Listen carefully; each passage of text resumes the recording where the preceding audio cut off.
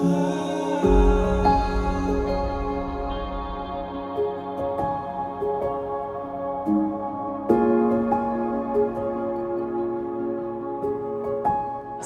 in Africa, malaria is endemic, it's always there.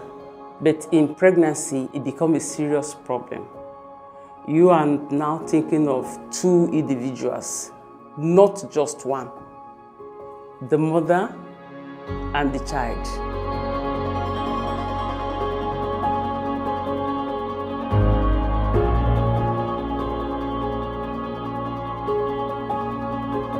Malaria this year was so much.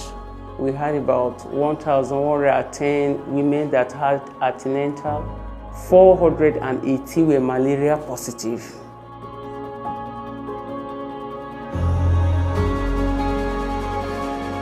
Malaria is a very serious case when we are dealing with a pregnant woman, in fact.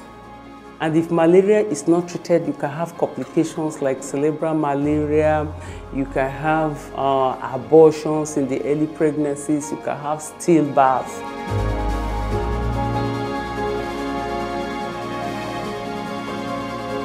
At times we face challenges. There is never anything you do without challenges. One of the challenges at times, there are some of the drugs that need to be given to the women on routine basis. The women are beginning to understand the community, they are bringing their women.